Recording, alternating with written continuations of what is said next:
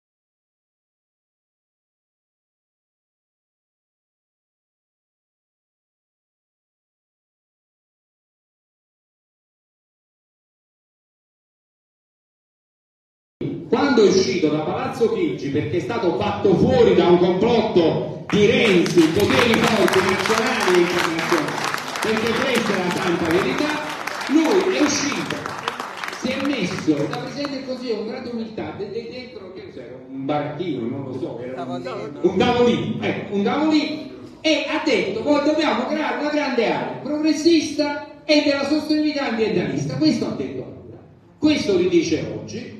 Il polo progressista, ecologista, ambienta questa lista che abbiamo fatto che ha tutti i colori dell'arcobaleno che io ho chiamato linguacchio, nel senso che ci abbiamo tanti quei colori, che alla fine ho detto quando andate sulla scheda cercate dove stanno più colori e votate.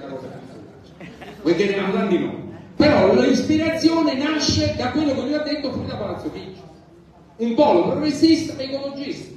Quindi non è una lista solo civica a sostegno di Donatella che è stata una candidatura eccellente, non avrei potuto sperare di meglio per il Lazio, ma è anche una lista che vuole dire mettiamo un tassello di quel grande polo ecologista, ambientalista che Conte deve guidare per arrivare a che cosa? Al Conte Terre. Io voglio il nuovo governo Conte, posto di Conte che va a Aspetta, poi se la lista se la lista la chiamiamo Conte Premier e mettiamo insieme dei 5 Stelle e tutti gli altri che arriveranno, faremo una grande sfida.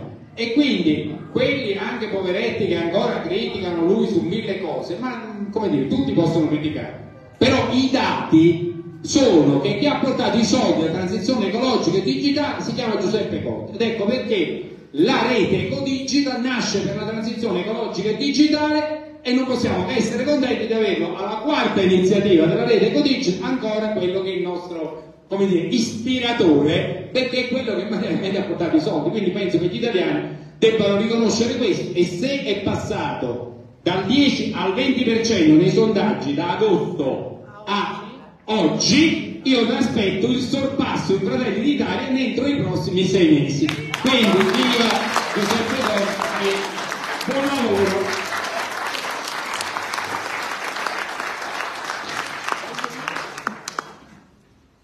Io parto da un presupposto. Se le sfide che abbiamo davanti sono così impegnative, se le sfide sono così fondamentali per la sopravvivenza stessa del nostro pianeta, per un'essenziale qualità di vita, non sono sfide che possiamo giocare in solitaria. Questa è la ragione per cui dico c'è spazio e nessuno può pensare di avere un monopolio nel combattere queste sfide, nell'affrontare queste sfide. Anzi, la vittoria non può che passare dal coinvolgimento del più ampio numero di persone. E non è un fatto solo, non è soltanto una prospettiva da lasciare in eredità ai giovani, è una prospettiva che dobbiamo vivere subito insieme ai giovani alle nuove generazioni. Ecco perché da questo punto di vista le polemiche non ci interessano. Tu hai voluto ricordare delle, una sfida adesso anche in prospettiva, il dialogo che abbiamo con i verdi europei. Questa per noi è un'ulteriore sfida, è un ulteriore motivo di confronto, di dialogo per cercare di valutare come tutti insieme possiamo essere ancora più forti ancora più pervasivi, capillari, se non riusciamo a conquistare le persone in questa prospettiva, il più ampio numero di persone, come facciamo noi a vincere la sfida ambientale, ecologista, dell'innovazione digitale coniugata appunto a una visione integralmente ecologista come chiamo io, una visione integralmente ecologista. Oggi tu sei stato un pioniere, siete stati con Loredana dei pionieri, ma oggi attenzione, è, la prospettiva è completamente cambiata. All'inizio si trattava di combattere contro l'ecomostro, di battersi per delle aree più pulite, per creare degli spazi più verdi. Oggi noi siamo chiamati a una sfida che guardate è anche complessa dal punto di vista delle conoscenze scientifiche, tecniche. Noi dobbiamo ripensare il modo di produzione. I modelli di produzione sono stati costruiti con logiche che oggi noi dobbiamo superare. Qual era la logica? La diciamo in breve. La logica capitalistica qual è? I consumatori vogliono un certo bene un certo prodotto c'è un margine di guadagno, ah, subito si crea una filiera di produzione per erogare quei beni e quei servizi. E anzi, con le tecniche più sofisticate si cerca di creare un bisogno indotto con la pubblicità eccetera per cui addirittura i consumatori vengono dietro i prodotti forniti piuttosto che i prodotti di cui realmente hanno bisogno. Oggi tutto questo non funziona più, perché questa logica ci ha portato a creare un sacco di rifiuti senza nessuna prospettiva di recupero, senza nessuna prospettiva di un'economia circolare. Oggi l'economia e il ciclo produttivo deve pensare già nel momento in cui progetta la cosiddetta fase produttiva a quella che sarà la fase del recupero, del ricircolo, un ciclo integrato. Noi dobbiamo pensare completamente a tutte le filiere produttive, dobbiamo, occorrono delle cognizioni tecniche e scientifiche che dobbiamo ancora amalgamare, mescolare e organizzare in un pensiero sistematico. Allora occorre una visione progettuale molto più in là di quella che è stata quella tradizionale, ovviamente supportata da una sensibilità costante di fondo. E guardate, io dico, questa sensibilità poi deve spalmarsi su tutti i temi. Per esempio, per esempio. Non possiamo non abbracciare anche la prospettiva che tanto ci preoccupa da un anno, da 11 mesi a questa parte, di un conflitto come quello russo-ucraino. Noi non abbiamo nessuna incertezza, non siamo equidistanti, noi non lo siamo mai stati, non siamo neutrali perché non possiamo essere neutrali di fronte a un aggressore è un aggredito, ma siamo ben consapevoli che la strategia militare che ci stanno offrendo, che l'intero fronte occidentale sta percorrendo, non ci offre una via d'uscita che non sia quella di un'escalation militare, il rischio di una deflagrazione nucleare e quindi la concreta certezza dell'aumento delle vittime, soprattutto civili, e dell'incremento della distruzione di intere città, interi territori che noi dovremo ricostruire, che noi andremo a ricostruire. Allora, questa sensibilità noi la dobbiamo avere a 360 gradi. Se vuoi tutelare il tuo ambiente, preservare la biodiversità, se vuoi assicurare la prospettiva di uno sviluppo realmente sostenibile, non puoi che contrastare questa prospettiva di escalation militare, che non significa lasciare l'Ucraina abbandonata a se stessa, la popolazione ucraina. Noi siamo vicini a loro, ma se davvero, e questo è il punto cruciale, che non ci viene spiegato. Se davvero noi siamo vicini a loro, allora noi non possiamo pensare che questo incremento della produzione militare sia la soluzione per loro. Dobbiamo capire, non dobbiamo prenderci in giro. Questa è una prospettiva che va a ingrassare comparti produttivi militari dell'Occidente, senz'altro. Però se vogliamo essere avanti e vicini veramente a loro, dobbiamo porci il problema di una svolta diplomatica, di un percorso negoziale, perché la storia è già scritta, l'abbiamo già vissuta.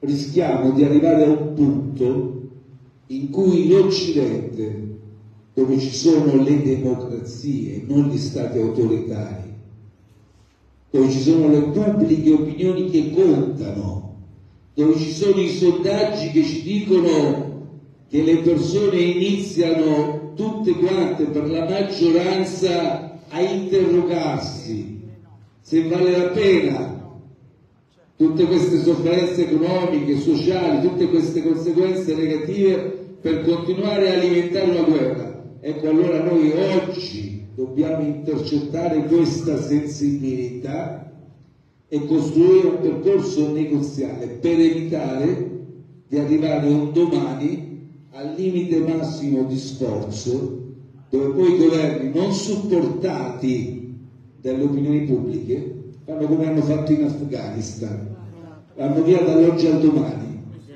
E adesso ci sono i talebani, peggio di prima. Abbiamo tradito le aspettative di tante giovani generazioni, tante ragazze, donne, ragazzi che pensate nel periodo in cui eravamo lì noi occidentali c'è stato un tasso di scolarizzazione che loro non conoscevano. Quelle ragazze e quei ragazzi non vanno più a scuola.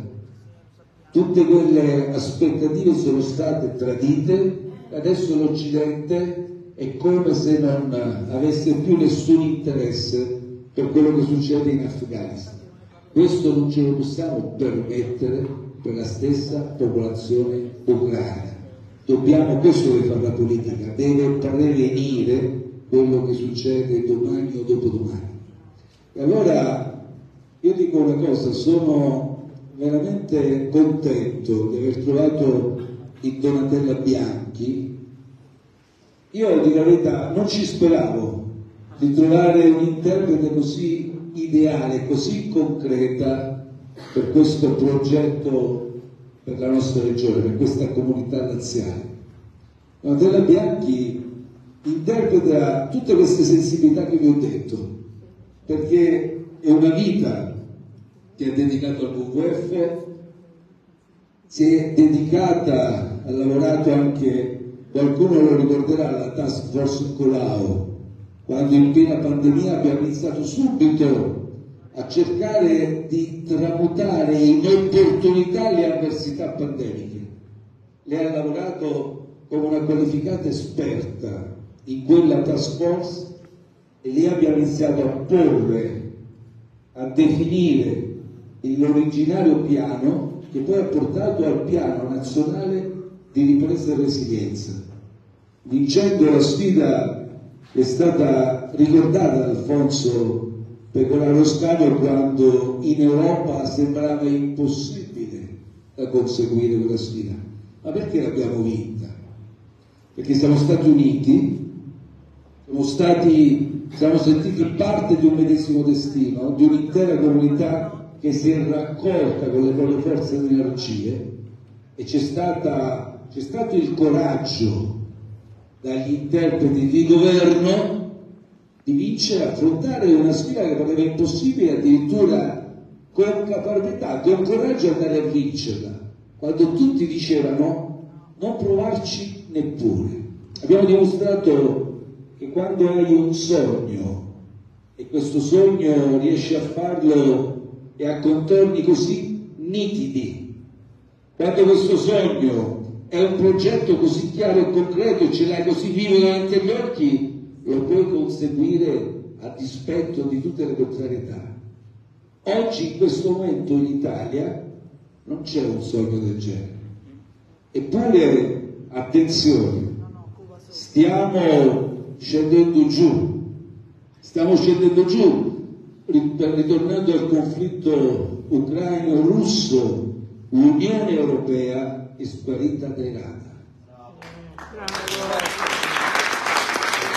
Io ho detto l'altro giorno, ho incontrato la von der Leyen, la Presidente della Commissione Europea, le ho comunicato, le ho comunicato a nome di 100.000 persone, forse molti di voi, che sono scesi in piazza quel sabato qui a Roma, ho detto guarda, noi siamo preoccupati, l'Unione Europea sta ormai sullo sfondo, è chiaro che non c'è una strategia politica, c'è soltanto una strategia militare decisa altrove, noi la stiamo seguendo supinamente, pedissequamente e soprattutto, attenzione, non ci stiamo neppure concentrando su quelle che sono le nostre priorità.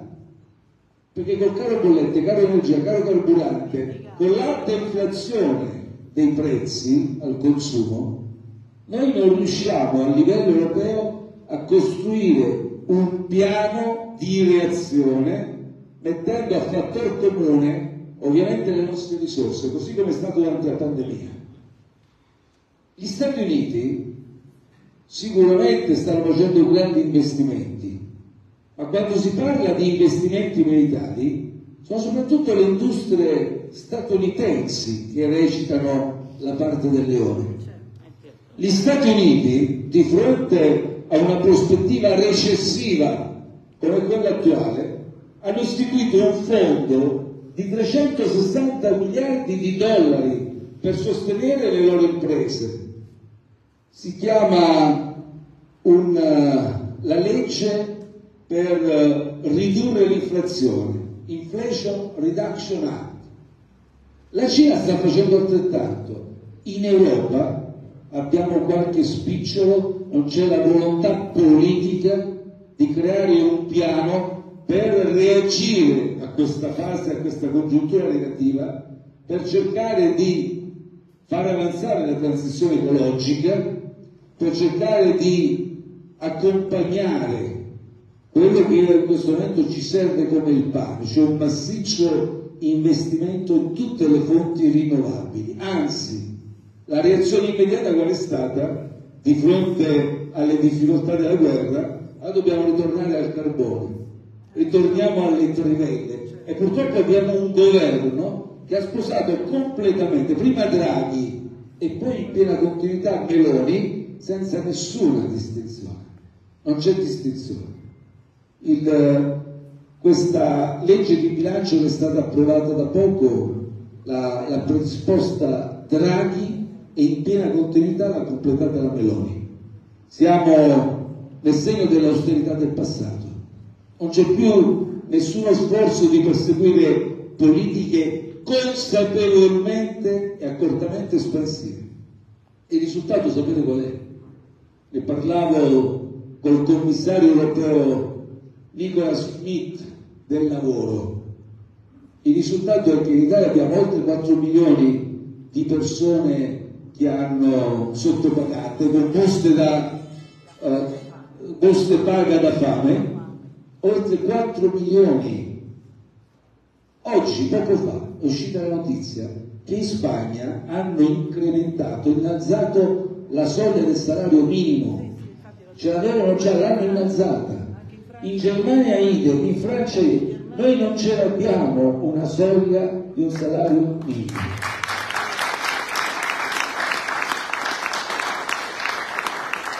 Poi viviamo dei momenti di dissociazione in Europa in questo momento c'è una raccomandazione per adottare in tutti i paesi europei che vogliono tradurre in direttiva vincolante, per cui ci deve essere in tutti i paesi europei un reddito minimo garantito, il reddito di cittadinanza. Oh, guardate, noi abbiamo la ministra Calderone che è andata lì e l'ha votata per l'Italia. È una dissociazione, è una bipolarità politica di cui dovrebbero rendere conto. Ma come fai quando ti siedi a livello europeo far finta di condividere questo obiettivo quando hai fatto una legge di bilancio con cui hai decretato che fra sette mesi lo toglierai agli occupabili il reddito di cittadinanza dal primo gennaio 2024 lo togli a tutti e lo smantelli. E ancora, scusate, noi abbiamo un problema di precariato, precariato diffuso. Ormai questi ragazzi sono lodevoli e veramente hanno un grande merito ai nostri occhi, perché non solo rimangono in Italia, ma si impegnano per migliorare la loro comunità. Ma ce ne sono tanti che stanno andando via, stanno andando via perché non gli offriamo più una prospettiva. Uh, incontro tutti i giovani che incontro lavorano all'estero con paghe doppie e triple rispetto a quelle che prendono qui, ma soprattutto hanno dei contratti a tempo indeterminato. Qui si lavora con, ormai col contratto a tempo determinato e questo governo vuole adesso far saltare anche quelle limitazioni che avevamo introdotto nel decreto dignità. Sono questi i problemi che noi abbiamo. Ecco perché è importante che queste nostre sensibilità vengano affermate nei governi territoriali. Qui, questa regione, si gioca una partita importante e dobbiamo essere consapevoli. Ogni voto è importante, ogni voto è importante per Donatella Bianchi Presidente, ogni voto è importante perché la nostra affermazione sarà l'affermazione di un'agenda sociale e di un'agenda ambientale, ecologica all'avanguardia. Segneremo la frontiera e chi si misurerà con noi, adesso lo iniziano a capire, deve convenire su questi obiettivi, perché noi saremo sempre più intransigenti. Io l'ho detto a chi verrà con noi, è la ragione per cui avete visto che il PD non ci siamo. Non ci siamo perché noi non possiamo prendervi in giro. Gli obiettivi che abbiamo sono troppo ambiziosi, richiedono radicalità di atteggiamento, non puoi fare i compromessi, non sei credibile se fai, se parli di una prospettiva ambientale come fa il PD e poi vuoi realizzare un mega inceneritore da 600.000 tonnellate, non sei credibile, te ne stai a casa. È inutile che, è inutile che la vecchia politica se la prenda con me, col Movimento 5 Stelle e venga a dire che il Movimento 5 Stelle vuol far male al PD o vuol far vincere la destra. È il PD che deliberatamente ha deciso di far vincere la destra, anche se noi ci batteremo fino. Anche se noi faremo di, tutti per, faremo di tutto per impedirlo, per impedirlo. Noi i giochi della vecchia politica non li accettiamo, non li abbiamo mai accettati e non siamo qui per realizzare questa missione in politica per consentire questa doppiezza di azione politica. Quando mi viene detto, ma quello è un discorso del commissario di Roma, però la regione non c'entra nulla, io dico ma mettetevi d'accordo perché questa è la bipolarità del governo in carica. Voi state accettando la bipolarità del governo in carica dove prima dicevano no trivellazioni e la prima cosa hanno fatto sì trivellazioni, dove prima dicevano no MES e adesso vedrete, aspettano che votiamo prima alla, in Lombardia e Lazio, vedrete che porteranno il MES e lo ratificheranno l'eurofollia di cui parlavo. Dove fanno un giorno avanti e un giorno dietro, si pos, non pos, e su tutto si stanno rimangiando tutte le promesse, le avete viste sulle accise, hanno fatto i video, hanno detto che era un furto, un ladrocinio di Stato, hanno fatto delle, hanno scimmiottato dei teatrini, facendo vedere la pompa di benzina che c'era il fisco che rubava, quel fisco sono loro.